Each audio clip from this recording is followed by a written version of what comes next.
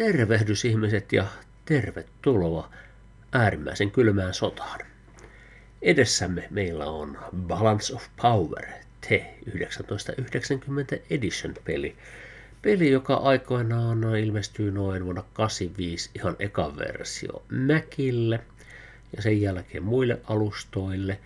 Ja tätä myyttiin hämmästyttävän paljon silloin aikoinaan.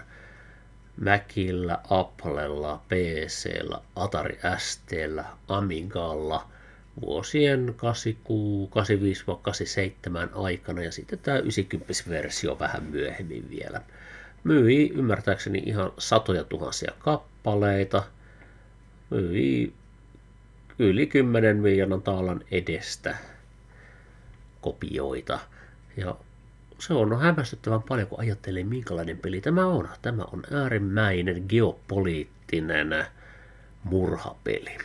Tämä on oikeastaan poliittinen, poliittinen simulaatio maailman tilanteesta kylmän sodan aikana. Samoin se ihan eka versio, mutta tässä tämä 90-versio, tässä on vähän lisää sisältöä. Tässä on enemmän maita, tässä on enemmän neuvonantajia, jotka kertoo, ovatko onko tilanne, ovatko päätökset menossa heidän mielestään aivan päin prenkkalla, ollaanko menossa ydin tuohon partaalle vai mitä.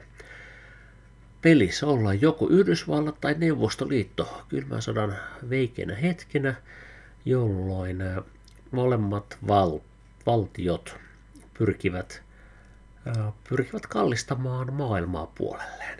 Kerätään pisteitä erilaisilla suurilla päätöksillä – koitetaan kallistaa yksittäisiä valtioita ja mielellään vaikka maan osia mm, lämpi, lämpenemään omalle suurvallalle ja täten keräämään lisää arvovaltaa. Näette täällä, että täällä alhaalla USA on miinuspisteellä, Neuvostoliitto johtaa pisteessä, johtuu ihan yhdestä ainoasta poliittisesta väännöstä, missä uskalsin kritisoida Neuvostoliiton tekemää joukkojen sijoittamista eräseen maahan.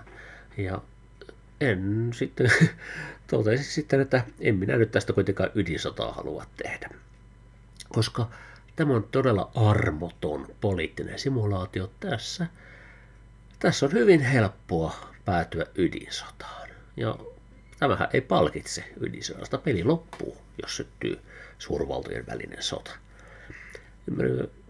eräs aiempi matsini niin päättyi siihen, kun mä halusin antaa taloudellista apua Zairelle ja Neuvostoliitto pisti hanttiin ja siitähän syttyi ydinsota ja se oli hyvin hämmentävää. Peli on, pelissä on valtavasti dataa, valtavasti asioita. Jos katsotaan vaikka tälle, että miltä maailma näyttää, poliittinen tilanne, missä meillä on mitä, mitä alueita me hallitaan, tai ei hallita, vaan mikä on meidän valta, sphere of influence, voimapiiri. Miten se nyt sanoisi? Sanotaan nyt voimapiiriksi. Mitkä ovat meidän etuvyöhykkeitämme? Mitä, ketkä ovat meidän orjamme? Tai ystäviämme? tai siis niin päin, että ketkä ovat meidän ystäviämme ja ketkä ovat neuvot, koska tässä olen nyt Yhdysvallat, niin ketkä ovat Yhdysvaltain vapauden ja demokratian ystäviä ja ketkä ovat Neuvostoliiton orjuut, orjuutustyrannian kohteena. No, Itä-Eurooppahan olisi kauhean kiva vapauttaa kommunismin tyranniasta, mutta ei se nyt ihan noin vai onnistu. Siellä Neuvostoliitto pistää, tulee sanomaan pahasti, jos yritetään tehdä suuria muutoksia. No, täältä nähdään myös, että Afrikka on aika lailla Neuvostoliiton hallussa. Ja tänä päivänä siellä on paljon Venäjä tunkenut sinne raa ja propagandaa ja saanut muutamat Afrikan maat puolelleen. Aasia, täällä on aika iso osa maailmasta on enemmän, jossain määrin Neuvostoliiton vaikutusalueella.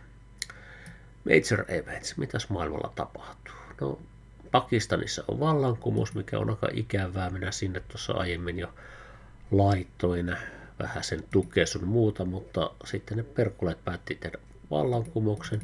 Ja se on nyt ikävää, koska täällä on Neuvostoliitto pistää miljardin tukee kumousta miljardilla ja heillä on 100 000 sotilasta tuolla maassa.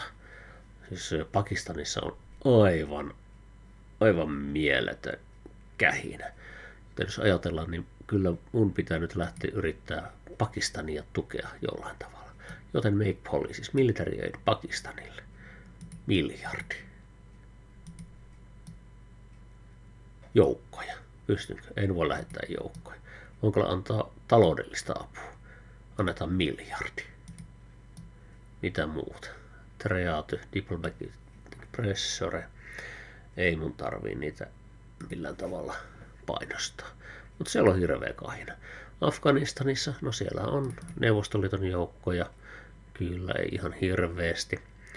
Mutta siellä on kuitenkin nyt vähän vääntöä. Mä tuen kapinallisia 20 miljoonalla, mutta ei siellä nyt sen ihmeempää ole käynnissä. Katsotaan, jos sinne saisi ujutettua nyt vähän, vaikka no en saa enempää rahallista tukea. Joukkoja, kokeillaan saisiko lähetettyä tuhat sotilasta sinne ja sitten vähän annet, koitetaan tämä rahaa oppositiolle. No, no muita juttuja.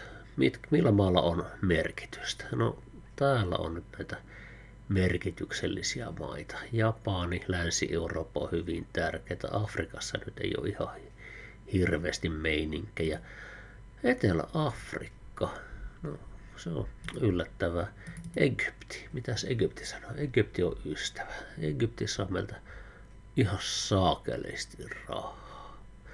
Miljardi sotilastukea ja neljä miljardia taloudellista apua. Okei, sinne ei, sinne ei tarvii lähettää sen enempiä asioita. Katsotaan, saisiko kun sinne, ja meillä on sotilastukikohtia siellä.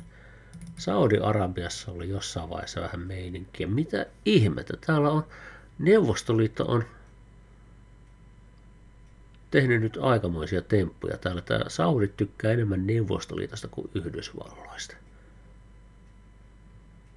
Siellä on vähäsen ollut kapinallishenkeä, mutta mun täytyy varmaan nyt Saudi-Arabiaa tukea vähän enemmällä kuin mitä nykyään tuen, vaikka ei he kyllä tarvitsisi yhtään tukea.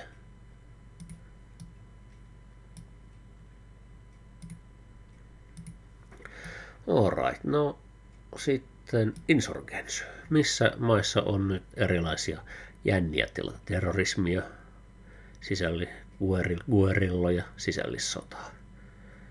No, sisällissota ja guerilla-sota on ihan semmoisia mukavia tilanteita lähteä keikuttamaan jonkun vihaamielisen valtion tilannetta. Neuvostoliitto tukee tuolla Boliviaa, Bolivian kapinallissa, siellä on joukkojakin. Kaiken näköistä. No minä tuen sitten Boliviassa vähän valtiota. Annetaan niille tuosta 100 miljoonaa armeijalle kaupallista apua, 200 miljoonaa taloudellista. Saisiko sinne lähetettyä joukkoja? En saa lähetettyä joukkoja. Olisiko jotain diiliä tehty? En saa. Alright, sitten edelleen. Suomettuminen. Kyllähän te tiedätte, mitä suomettuminen tarkoittaa, jos olette yhtään politiikkaa joskus aikoinaan seuranneet.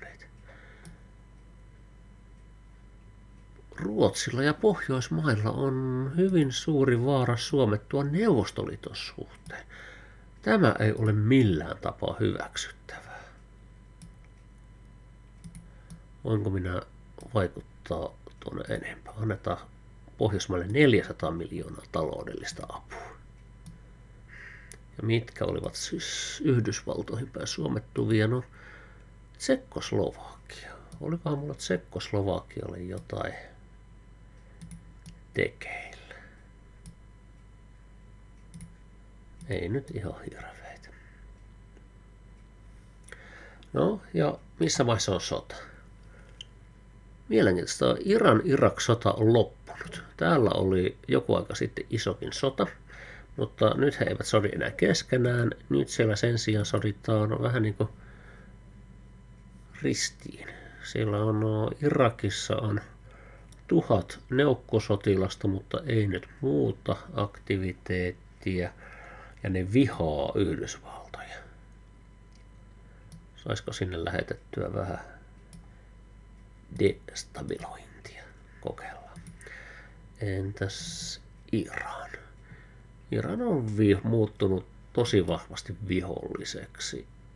No, eipä sitten. Jos olette vihollinen, niin sitten olette ja annetaan sinne vähän tälle kapinallisapuja lisää, jos pystytään.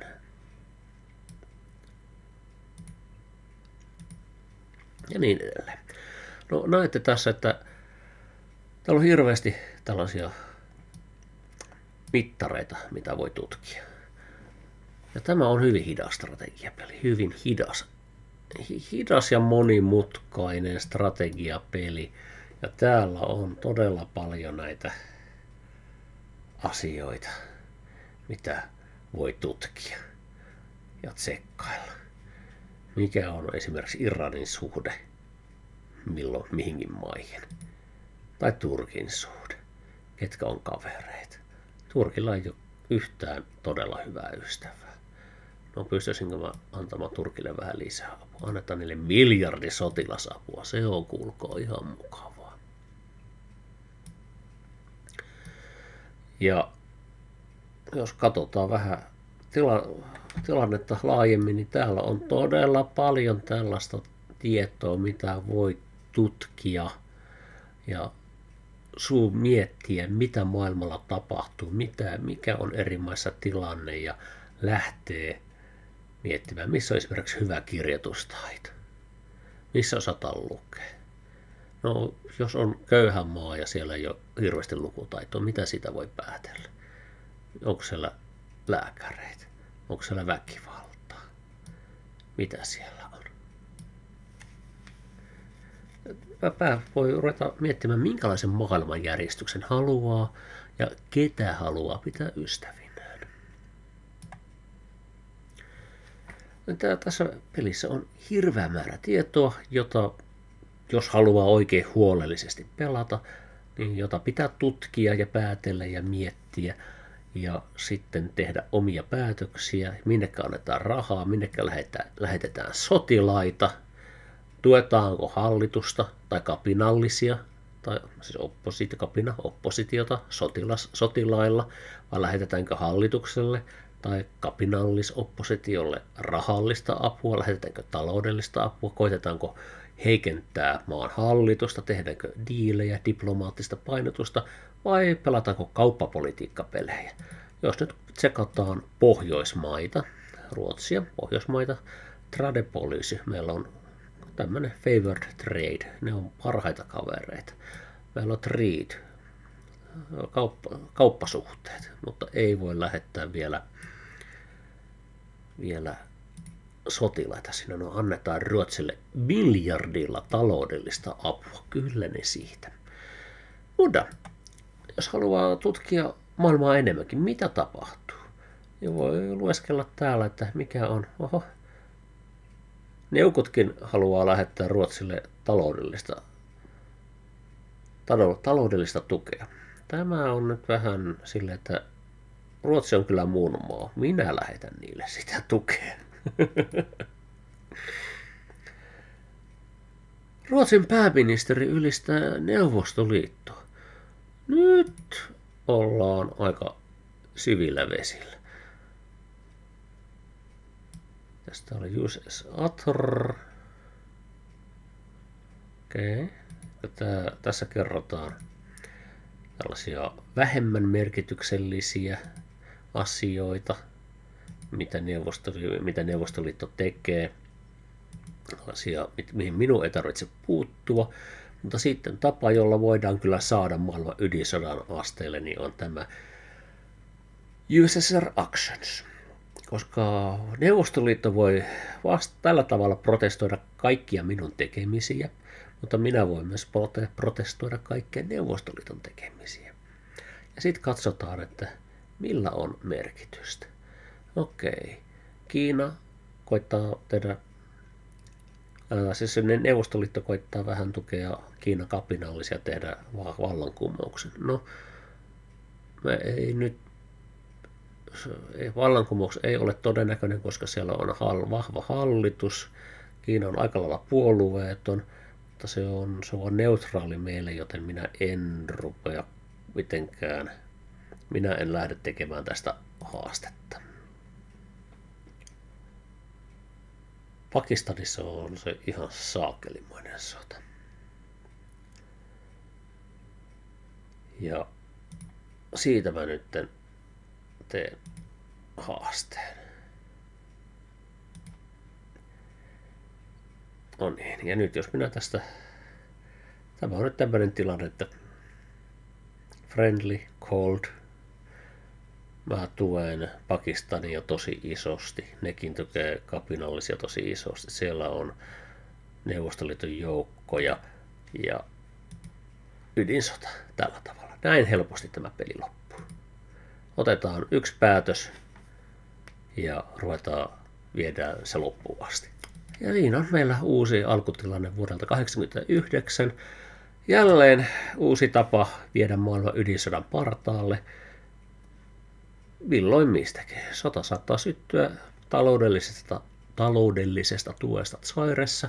Sota saattaa syttyä siitä, että haluaa protestoida Neuvostoliiton toimintaa Pakistanissa. Mitä tahansa voi tapahtua. Ja kun jotain tapahtuu, niin pisteet heilahtelee ihan saakelisti. Ja pelin saattaa hävitä sillä, että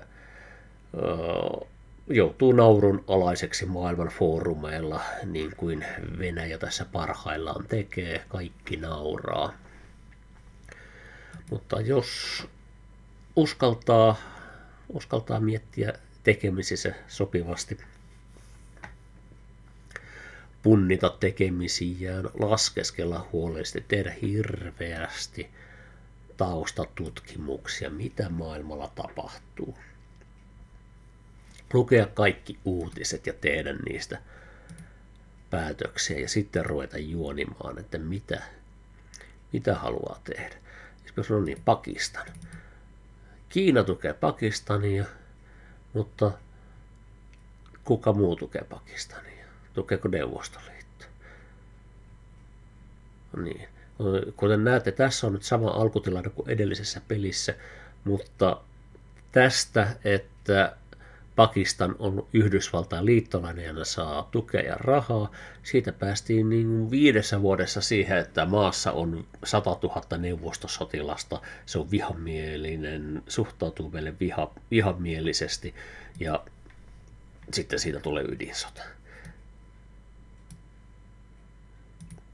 taas niille nyt näytteeksi miljardi.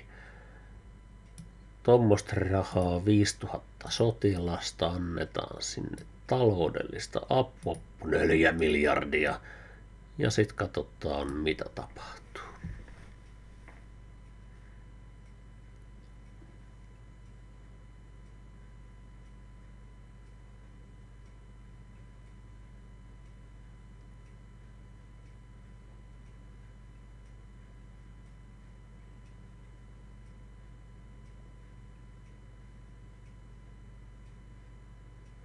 Mitään ei tapahtunut. Minä sain kaikki temppuni läpi Pakistaniin ja Pakistan on nyt oikein hyvä kaveri ja niin siellä on joukkoja, rahaa, niin poispäin. taas sopimukset, joo, tämmöiset sotis, tukikohdat, annetaan niille oikein kunnon kauppaolosuhteet, en saa lähetettyä lisää sotilaita. Tällä tavalla saattaa tapahtua yllättäviä asioita. Turkki on vallankumouksen äärellä. Mitä siellä tapahtuu? Siellä on vähän sen hallitus heiluu. Mä lähetän Turkille nyt kyllä sitten pikkusen lisää apua. 400 miljoonaa saavat sotilasapua, taloudellista apua miljardi saanko mä joukkoja lisättyä. 20 000 sotilasta ja triitti tommoset. Ja mennäänpäs nyt taas tonne Ruotsin suuntaan. Annetaan Ruotsille sotilasapua, taloudellista apua. Mitkä meillä on kauppadiilit, hyvät kauppadiilit.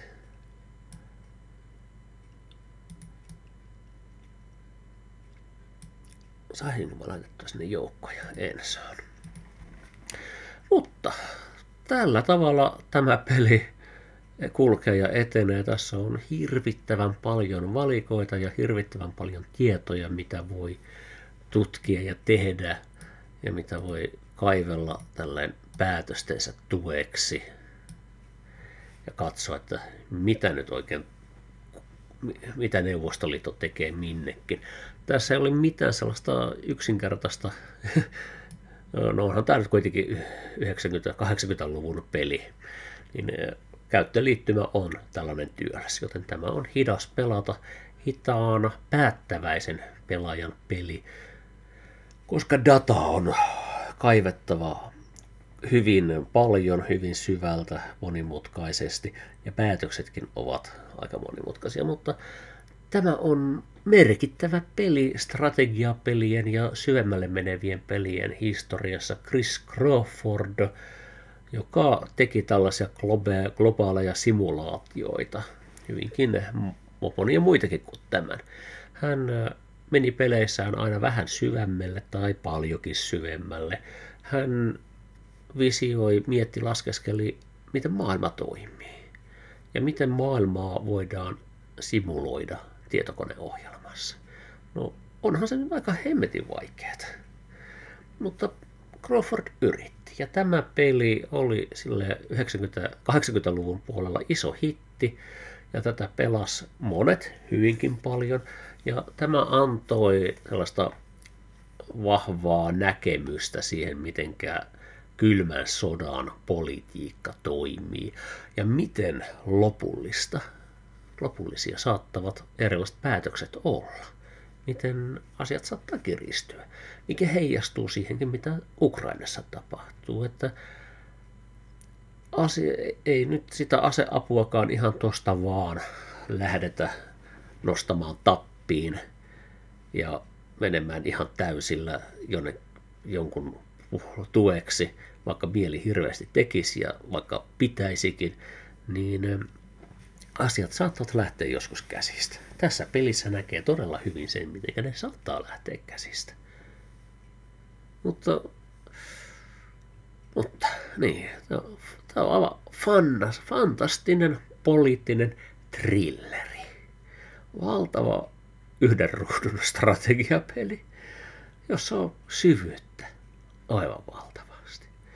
Ja tällä pystyy tavallaan simuloimaan sit todellisen maailman tapahtumia, että miten, minkälaisia syy-seuraussuhteita voi olla, millä tavalla globaali voimapolitiikka toimii, mitä keinoja käytetään. Kyllä mä nyt saatan olla ihan täysin huoleton siinä, että hyvin mielelläni, mielelläni lähtisin vähän destabilisoitumista heittämään tonne Neuvostoliiton alueille Euroopassa, mutta jos siitä jää kiinni, jos se huomataan, niin ei siitä kauhean hyvä seuraa. Saatikka siitä, että hei, minäpäs lähetän taloudellista tukea Neuvostoliiton alusmaille. Katsokaa, katsotaanpas mitä tästä seuraa. Lähetetään, mitä Neuvostoliitto siitä sanoo. Lähetän Jugoslaviallekin. Rahaa! Lähetetään Jugoslavialle rahaa. Jugoslavit eivät tykkää neuvostoliittolaisista. Ei kyllä kukaan muukaan tuolla, mutta ei se mitään.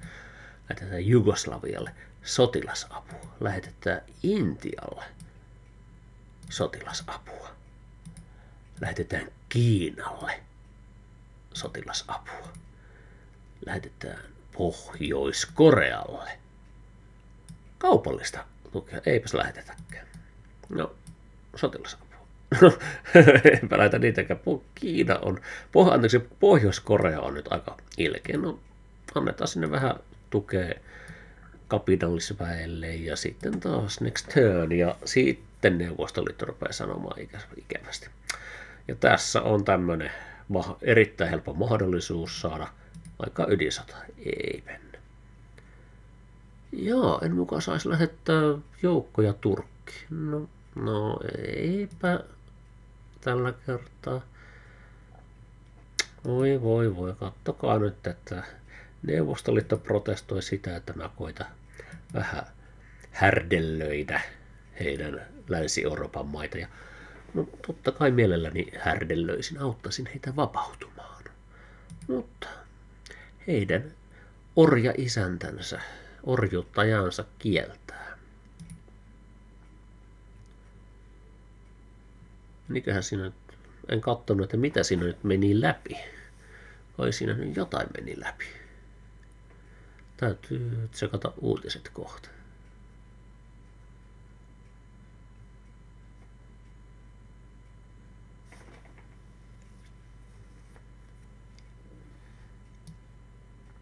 Tuossa on USA Access. Mikäs menikään nyt läpi? No, siitä näe. Pyh.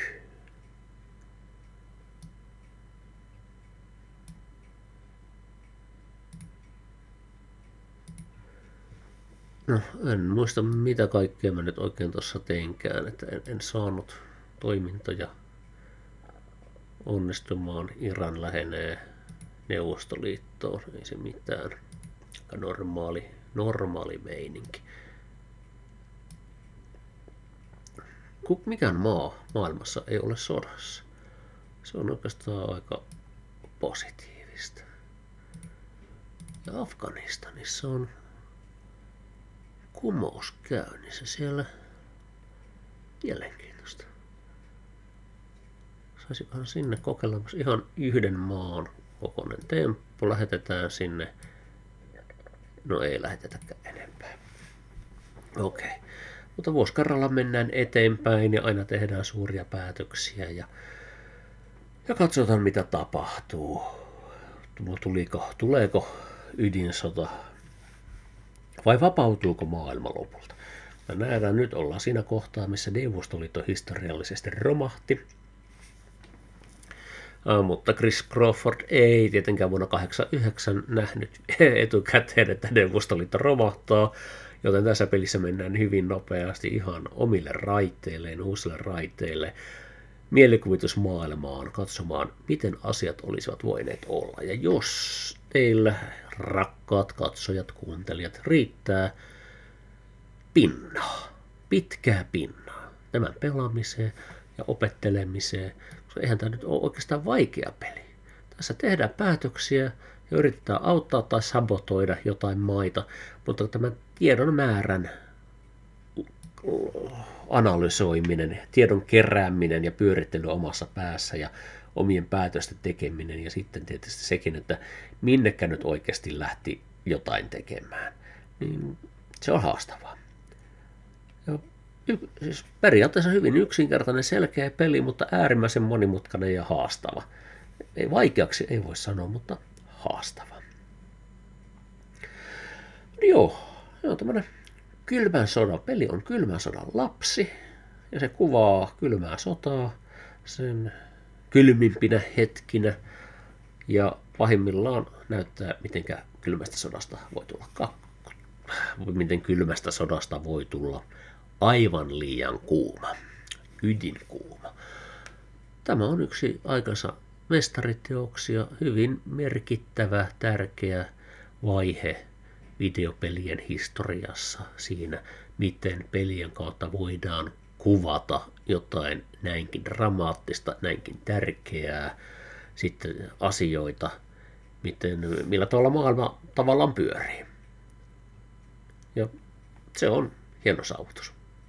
Siinä. Tässä teille pelin nimeltään Balance of Power. Olkaa hyvä. Kiitoksia. Näkemiin. Thank you